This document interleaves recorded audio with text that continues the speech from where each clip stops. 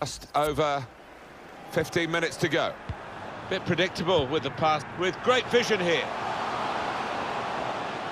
Now this is an interesting attack. Real opening now. Good block. And he scores. Well, good finish, no doubt, Martin. But what about the play before that? What about the passing? Wonderful team effort. That is a great goal of its type. Perhaps don't see as many as we used to of it, but the cross made the header so possible. Yeah, it is still one of the, the best sights in football, and I think supporters enjoy it. Spectacular header.